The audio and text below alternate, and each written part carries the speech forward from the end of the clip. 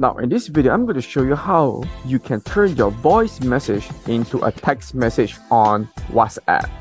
Alright, so let us get started.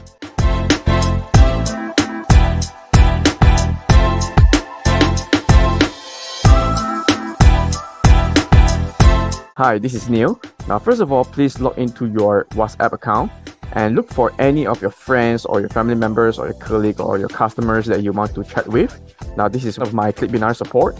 So here I'm going to tap on this this bar here where I want to send messages to my friend. So here you can see there is this microphone. Now there are two different type of microphone. This is just a voice message, but this is where you can use this mic where you will turn your voice message into a text.